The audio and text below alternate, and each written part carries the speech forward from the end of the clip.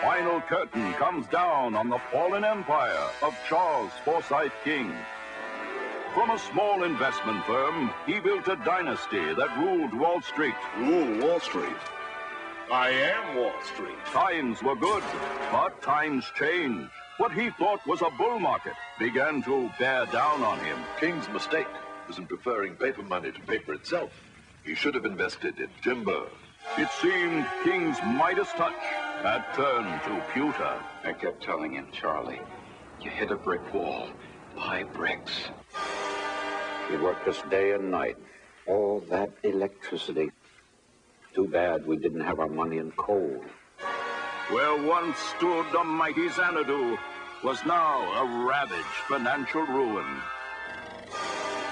Well, it tells me that he failed, but not why. Hey, what were his last words? They say it was one word. The one thing he wished he had. Hanson.